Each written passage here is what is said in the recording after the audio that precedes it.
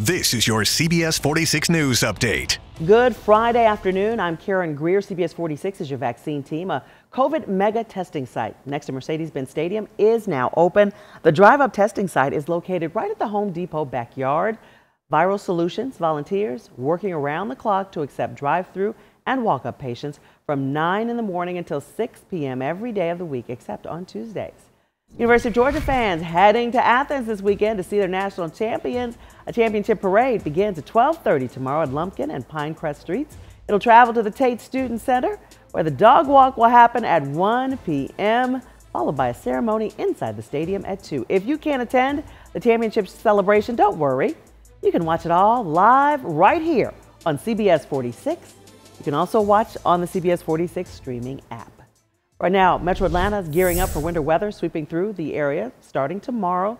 Today, Atlanta Mayor Andre Dickens getting an up close look at the equipment the city will need this weekend. He toured the Atlanta Department of Transportation's facility. Right now, 300 employees are ready to work 12 hour shifts. Now, this weekend's ice could also cripple the power grid and leave your family without heat or electricity. Georgia Power suggests you have an emergency kit ready in case you lose power. That includes a flashlight, additional clothes for warmth. You could also need a shovel and some items to keep the cold air out of your home.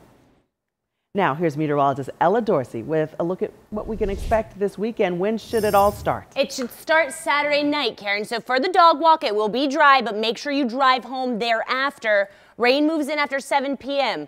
Through the day on Sunday, you wake up to rain or a wintry mix. Then we see freezing rain through the mid morning possibly even lasting through the time you eat lunch. And then through the afternoon, we see bursts of snow move through. So we're going to get all types of precipitation. Here is what to expect based on where you live from North Fulton and Gwinnett County up through Gainesville into the mountains over through Athens. So northeast Georgia, significant accumulations of snow and ice are possible. Major uh, travel issues are possible. The roadways will be slick. For Metro Atlanta, Cobb County, uh, and areas along I-20 south of Athens, impactful snow and ice accumulations are possible. It is going to get very tricky on the roads later on Sunday. And areas down to the south, Griffin, Eatonton, down towards Macon should see minimal travel impacts. Guys, no matter what, we're going to get about an inch of rain and it's going to fall below freezing by Sunday afternoon and temperatures will stay below freezing until midday on Monday. So black ice is very possible Sunday night and Monday morning.